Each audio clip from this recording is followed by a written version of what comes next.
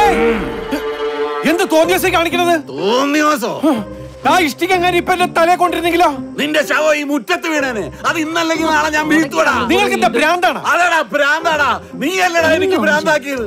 ഒരു കലാകാരനായ എന്നെ ഇന്നലെ വരെ ഈ നാട്ടുകാർ തബല വർക്കിച്ച തബല വർക്കിച്ചെന്നല്ലടാ വിളിച്ചോണ്ടിരുന്നത്. ഇപ്പൊ അവരെന്താ വിളിക്കുന്നതെന്ന് അറിയോ തവള വർക്കിച്ച തവള വർക്കിച്ചാന്ന്. നീ അല്ലടാ അതിന് കാരണം. കേറി പോടാ.